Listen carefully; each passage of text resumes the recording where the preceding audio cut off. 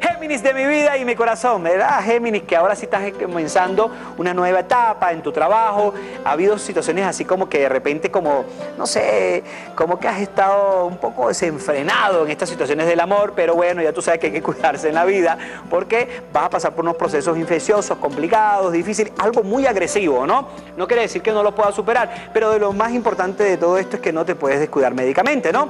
Bueno, también podríamos estar hablando de ciertas afecciones respiratorias, podríamos estar hablando así como que esa parte respiratoria, bueno, ya sabes los cambios de clima, lo que ha pasado, las circunstancias, el frío y todo lo demás, ¿no? Pero si tú no te cuidas, ¿quién te va a cuidar, no?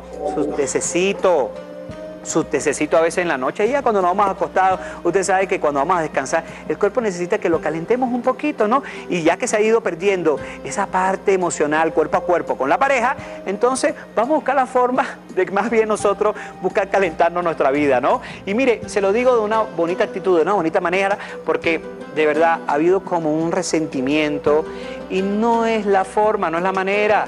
Esas fricciones, recuérdate que ya estamos prácticamente ya culminando un año, estamos con esa tristeza, estamos pensando en lo que no pudimos lograr, en lo que queremos y en lo que vamos a hacer. Así que qué bueno que recapacites y podamos obtener, mire, una palabra que se llama éxito.